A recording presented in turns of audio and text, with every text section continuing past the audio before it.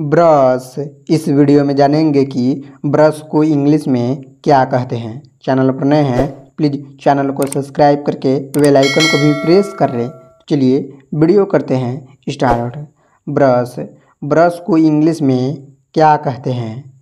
Answer, brush को English में brush ही कहते हैं। अगर आपको यह जानकारी अच्छा लगा हो तो प्लीज़ वीडियो को लाइक करें, चैनल को सब्सक्राइब करके बेल आइकन को भी प्रेस कर लें। तो बस आज की वीडियो में इतना ही। Thanks for watching.